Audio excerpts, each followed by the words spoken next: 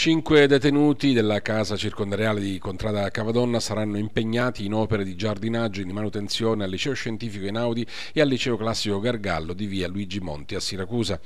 Si tratta di un'attività di pubblica utilità eh, che vedrà impegnati i detenuti eh, a occuparsi di pulizia, giardinaggio, piccoli lavori di manutenzione.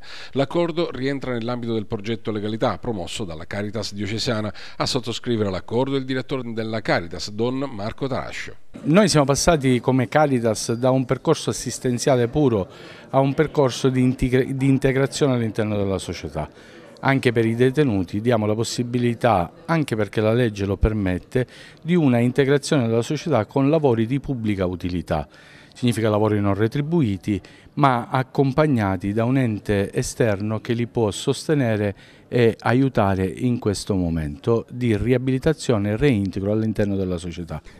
Nel frattempo ci sono anche critiche, su qualche social qualcuno storce il muso non penso di commentare eh, i social, non in, mi interessa commentare i social perché noi qui già l'anno scorso al liceo Gargallo abbiamo fatto un uh, incontro con i ragazzi sulla giustizia riparativa che si mette a servizio della società dopo aver commesso un reato per aiutare la società e quindi riparare al danno che ha fatto in maniera concreta, quindi con i ragazzi abbiamo affrontato un discorso eh, che è stato un discorso molto educativo per loro.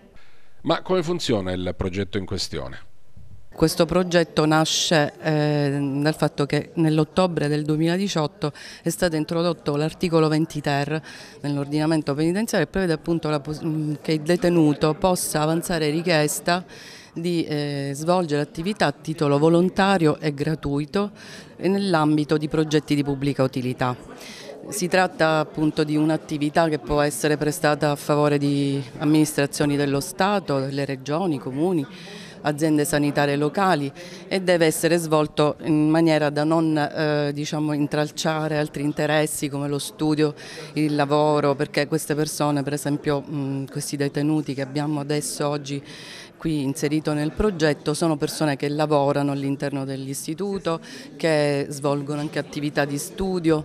Eh, diciamo che eh, sono persone eh, a basso indice di pericolosità sociale.